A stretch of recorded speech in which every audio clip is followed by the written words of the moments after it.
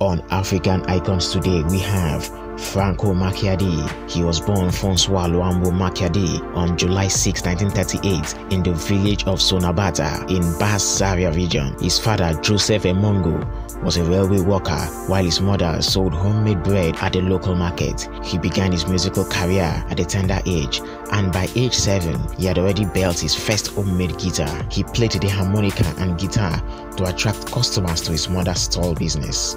His musical talent was first tapped by guitarist Paul Ebengo Dewayon.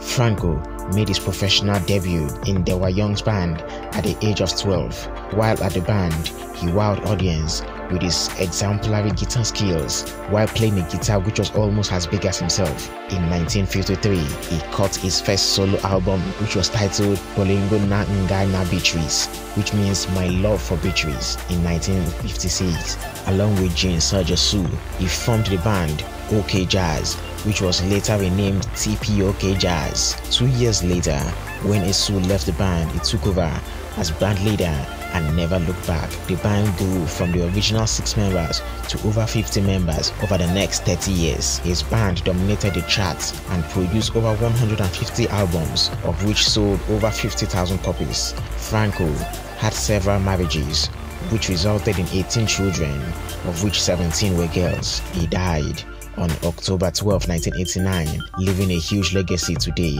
Several decades after his passing, Franco and TPOK jazz songs remain among the most popular songs based on CD sales and radio play.